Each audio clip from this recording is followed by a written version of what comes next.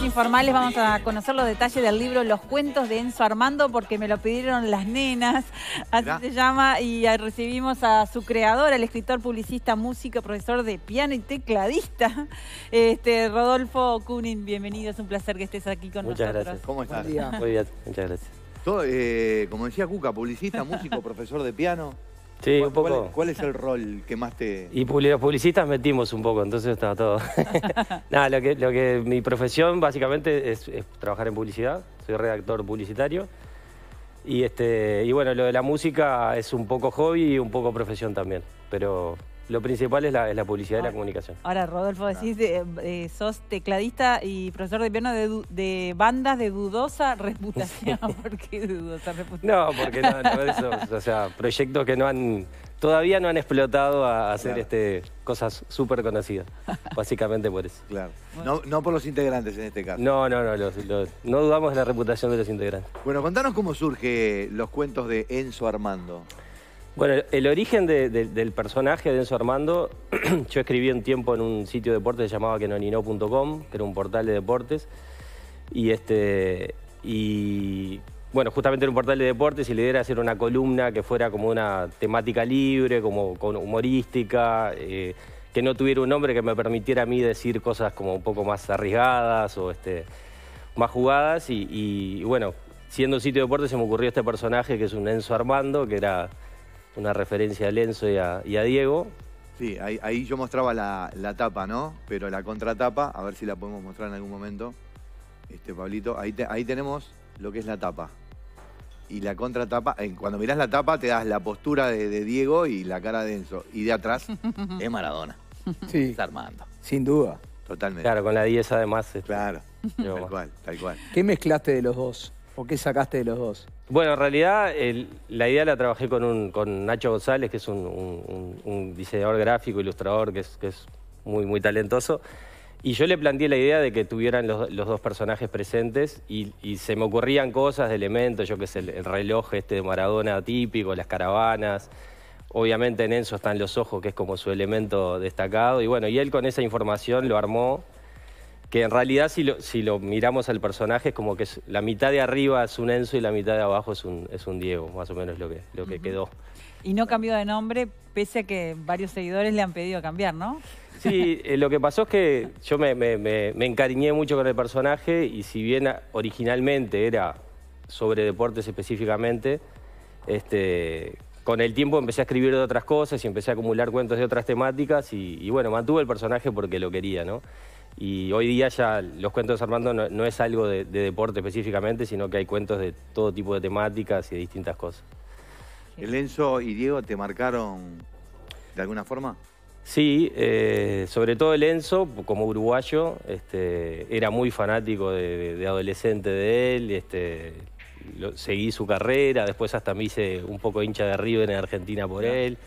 Este, y bueno, y Maradona, porque es un, un ícono para la generación nuestra gigante, tengo el recuerdo de, de la final de- del 86 y ahí en adelante, bueno, este, y es el símbolo del, del fútbol y del deporte para, para Latinoamérica, ¿no? Claro. Claro. ¿La idea es continuar con otros proyectos con Enzo Armando? o- Bueno, vamos a ver pa- para dónde va. Este, sí, me, me gustaría volver a escribir algo más de, de- de- de ese estilo, de columnas periodísticas, e- ese tipo de, de cosas me gusta.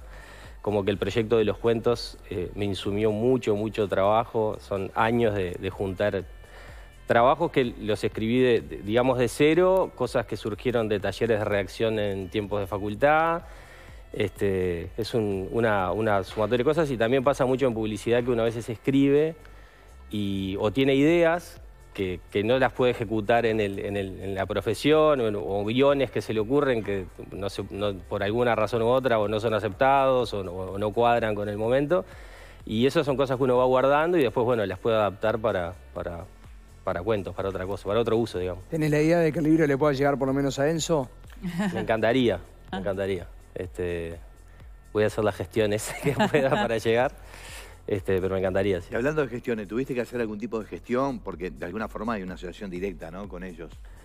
Eh, ¿Te no, lo planteaste en algún momento? Decir, che, ¿y gustará, no gustará? ¿Me saltará? ¿Viste cómo es? y bueno, e- era un riesgo que, que- que corría. Este, la idea también de que sea una caricatura y que no sea una referencia eh, tan directa o fotográfica, obviamente también es como una cuestión de, de respetar la imagen de ellos. Pero, pero no, o sea, yo creo que está hecho desde el afecto y desde, desde la admiración, así que no, no creo que genere problema, ¿no? Por eso. Tal cual. Por lo menos no, no ha, no ha tenido problema hasta ahora. Hasta ahora venimos Capaz que ahora que saliendo en los medios, sí. ¿Por qué este, pusiste porque me lo pidieron las nenas? Sí. Bueno, esa, la frase esa es eh, parafraseando a, a- a Diego, a Maradona, que siempre decía, si me lo piden las nenas, me voy a Italia, si me lo piden las nenas, dejo el fútbol. Y es una muletilla que quedó entre amigos y que si me lo piden las nenas. Y, y lo curioso es que el destino quiso que yo hoy tenga una nena y esté esperando una segunda nena que está en camino, así que capaz que un mensaje ahí Todas del son- universo. Son señales, como señales. ¿no? Y si tuviésemos aquellos que de repente no lo hemos leído, de, de describir alguno de, los cuentos de Enzo Armando, ¿qué, qué nos contarías? Eh, bueno, son cuentos bastante cortos que salieron así. Yo creo que eso es una, una deformación un poco del trabajo en publicidad, que eh, en la publicidad te obliga a contar historias, presentar una historia, el desarrollo y el desenlace en tiempos muy, muy breves. ¿Pero tiene que ver todo solo con el deporte? No. No, no, no, es te- Te- temáticas te- súper amplias, pero quiero decir que, el, que el- el abordaje de, de los cuentos cortos capaz que es un poco una derivación de eso. Ajá. Este, De formación publicitaria también. de ¿no? cómo, ahí va, de formación y, y bueno, temáticas varias y hay como muchos recursos, o sea, yo soy creativo, por más que la palabra suena un poco este, pomposa, pero, pero como que hay intención de buscar ideas dentro de los cuentos, ya sea ideas en, las historias o ideas en los recursos. Eh, hay cuentos en los cuales se, se hace mucho juego con las palabras, este, con palabras que suenan similar y contar una historia con palabras que suenan todas muy parecidas, con utilizar comparativos de una forma que no se usan habitualmente.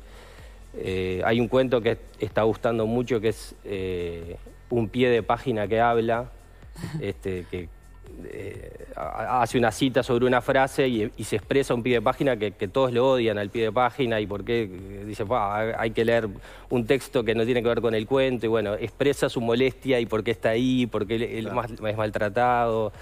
Este, es como una, un, hay ejercicios de lenguaje que, que son, creo yo, bastante novedosos.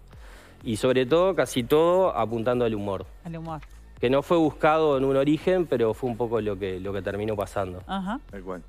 Rodolfo, ya el, el libro lo podemos encontrar en las librerías, porque Sí. ahora más se viene el Día del Hijo y Un buen regalo. es un lindo regalo, Sí, ¿no? sí, creo que sí. Este, sí, ya está, ya está en, en todas las librerías, está, está disponible para, para quien lo quiera. ¿Estás pensando en otros personajes así como este o no? Por ejemplo, y te lo tiro, agarralo si querés, un Tony Pacheco o un Álvaro Recoba. Sí, el otro día en, en Sí, la... además justo esa dupla. Claro, que esa dupla que bueno. que uno ya los asocia juntos, no separados, ¿viste? Ah, Sería Tony Recoba. Rivales en la cancha, rivales en la cancha, pero familia en, Sí. en- en la vida, ¿no? El otro día, eh, cuando er- teníamos la presentación del libro y, y- amigo y colega, Nicolena, que fue el que escribió el, el po- el prólogo, me decía que el, el próximo tiene que ser Susana Mirta, sali- saliendo del, del- del Del mundo tema deportivo. fútbol, claro. Claro, podría Sí, ser. También, to- totalmente de acuerdo. Bueno, Rodolfo, muchísimas gracias, muchos éxitos y bueno, nos vemos en la próxima. Muchas gracias a ustedes. Muchas gracias. Gracias. Muy bien, ¿nos vamos al móvil?